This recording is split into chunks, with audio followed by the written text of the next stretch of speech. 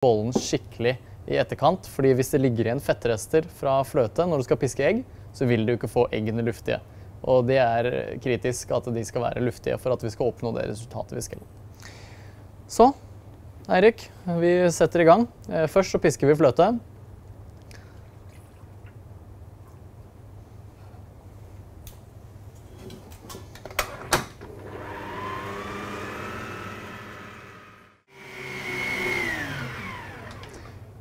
Da er eh, kremen ferdig piska. Og som i alle andre desserter så er det viktig at kremen ikke blir piska for mye.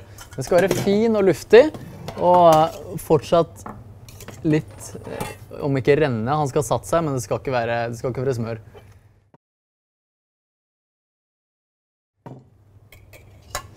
Så skal vi piske eggedosis. Eh, eggedosis tar jo litt lengre tid å piske enn krem. Det varierer jo hvor lang tid det tar i forhold til hvor mye du skal lage. Men du må i hvert fall regne at den må stå og piske i ca. fem minutter før han er klar. Den skal være så tykk at eh, du kan skrive tre bokstaver i eggedosisen med, med, med eggedosisen.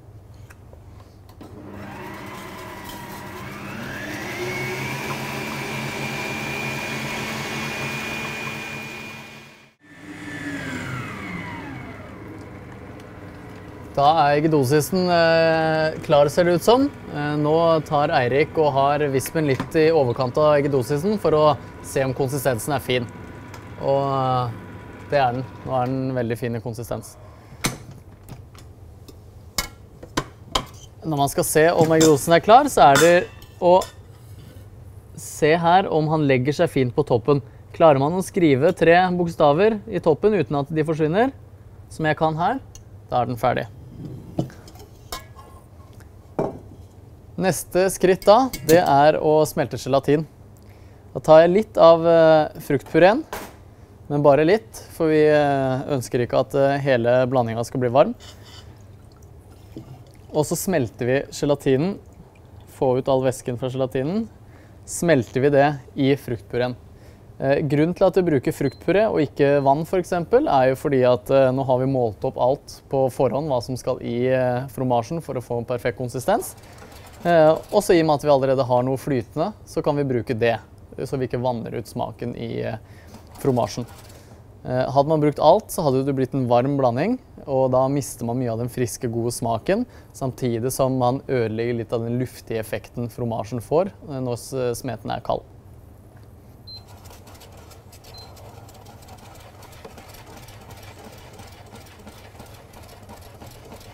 smelter vi den forsiktig. Så har vi det tilbake sammen med resten av pureen. Da skal vi blande denne her sammen med eggedosisen.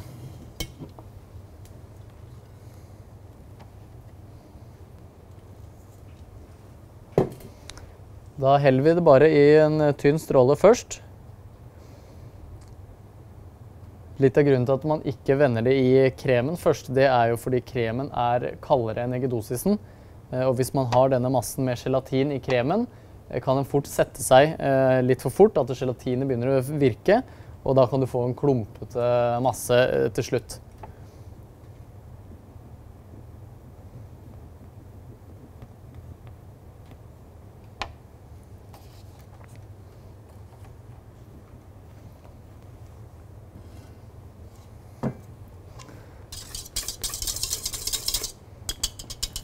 Da har eggedosisen eggdosisen fint blitt blanda med fruktpureen. Da tilsetter vi kremen. Tar vi først eh, litt av kremen, ca. halvparten. Vender inn det før vi tar resten. Dette her er pga. temperaturer, at vi ikke vil at temperaturen skal falle for raskt, med tanke på at gelatinen kan reagere på det og sette seg litt før vi ønsker.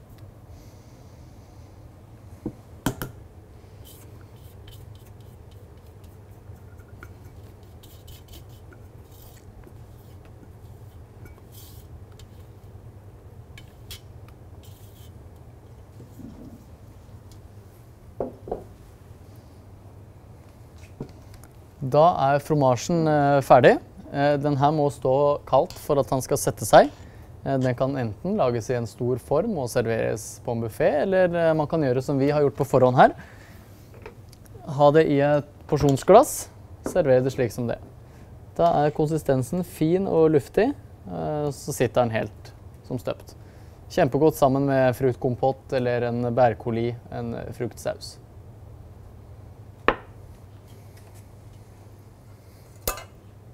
Da skal vi over på mousse.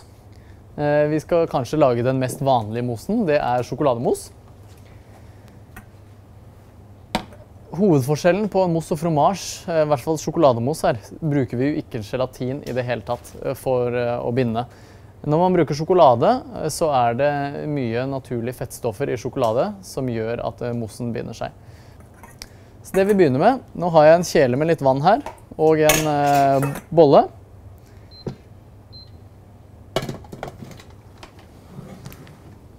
Da tar vi sjokoladen oppi, så skal den få lov til å smelte der. Sjokolade skal aldri tas direkte på panna, det er eh, fy-fy.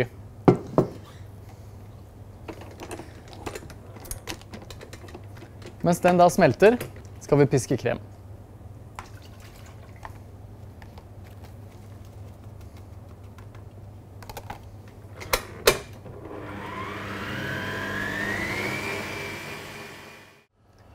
Da var kremen ferdigpiska, og akkurat sånn den skal være. Lett pisket, ikke for mye. Nå begynner sjokoladen min å nærme seg ferdig smelta her òg. Mens den eh, smelter, så lager vi stivpisket eh, eggehvite med sukker, altså en marengs. En fransk marengs blir jo det her når du har eh, rå eggehviter og, og sukker. Hadde du hatt en sukkerlake til eggene, så hadde det vært en italiensk marengs.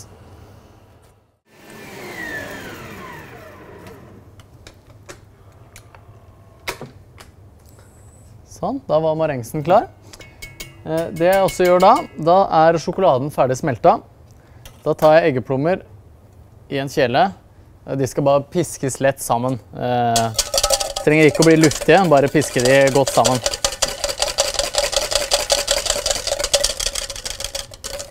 Så skal vi helle sjokoladen over eggeplommene.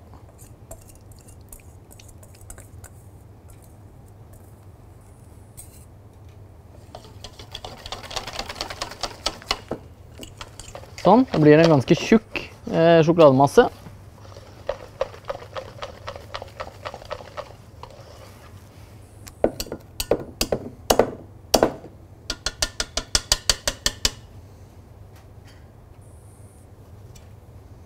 Da er eh, alle delene til eh, mosen klar, så nå skal den monteres.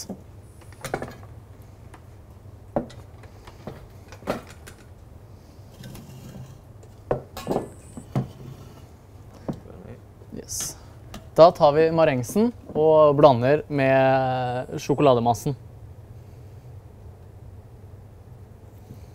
Vi begynner med litt, tar ikke alt med en gang, fordi vi eh, trenger fortsatt litt temperatur på sjokoladen. Hvis ikke så eh, setter den seg og blir eh, krystallisert, og da får man masse sjokoladeprikker istedenfor en jevn, fin masse.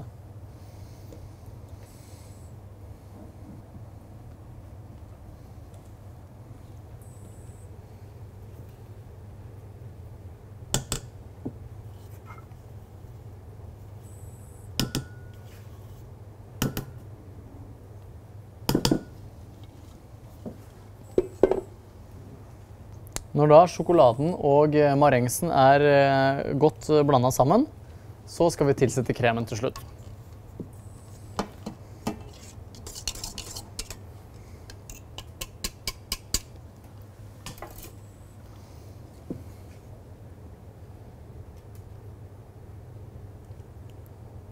Begynner man med litt først, og vender det forsiktig inn.